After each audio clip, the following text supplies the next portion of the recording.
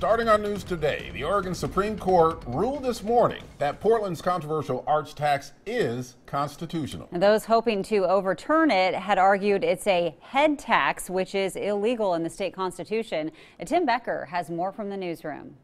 Uh, the basis of the Supreme Court's argument is that the arts tax is not a head tax because it exempts some taxpayers based on income and household resources. Portland voters passed the arts tax five years ago, but it has been mired in controversy and lawsuits ever since. Several courts have heard the opponent's case, claiming the $35 a year per person tax violates the state constitution. Why argue this when it's only $35 a year?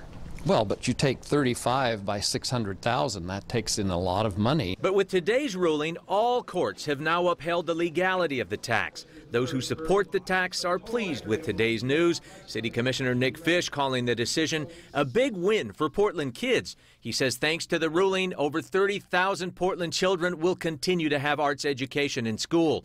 City attorneys have argued all along that it is not a head tax. The arts income tax doesn't possess those characteristics. It does take into account income uh, at several levels. They said that all along because people at or below the poverty line are exempt, along with taxpayers earning less than $1,000 a year. We're visiting with plaintiff George Wittemyer, who tried unsuccessfully to repeal the tax. You'll hear from him on KOIN 6 News later today. Back to you.